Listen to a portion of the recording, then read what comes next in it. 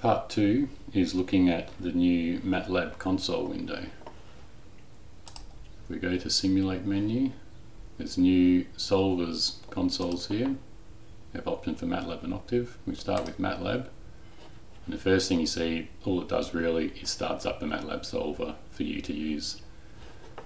And you end up with the command line entry box down here where you can type in simple JavaScript commands to test out functionality or to um, try out new things.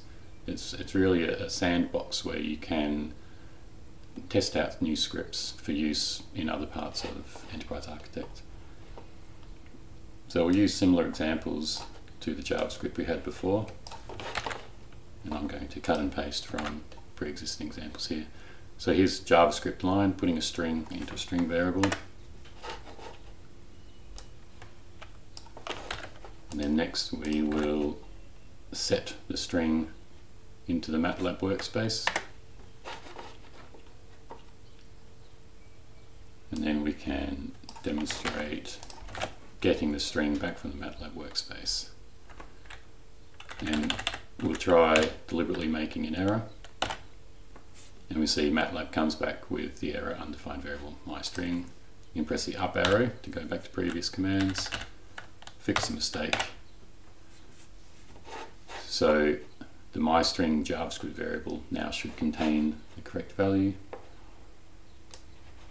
And we can output the value with the same session dot output.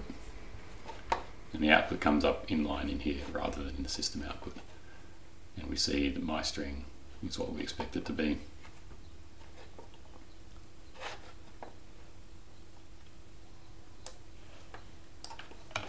Similarly, we can call the matlab.exec function in the same way we did before with the image processing example. It should be able to just directly call it. And we see the image pops up, one, two, and then the overlays again.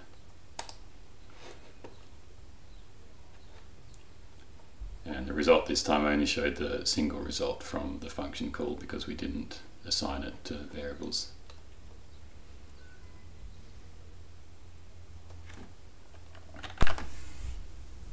So from my point of view, this window is very handy if you're generating a new script and especially for a larger script and you are not sure about a small part of what sort of MATLAB call you need or what the results are going to look like. A simple way of just running the MATLAB commands, seeing what the outputs are going to be, whether they work, whether there's any errors or not. And especially if this was a larger part of a larger, say, state machine or activity diagrams, with lots of components and you don't want to simulate the whole thing every time to try and fix the issue, then you can jump into the console, cut and paste a few commands, see the outputs, and then cut and paste them back into your simulation. And that's the end of part two, looking at the MATLAB console.